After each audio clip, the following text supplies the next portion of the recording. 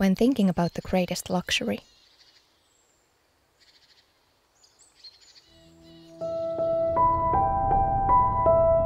It's who you're with.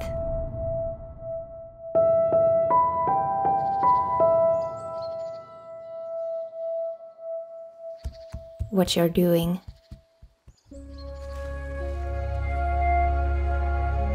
When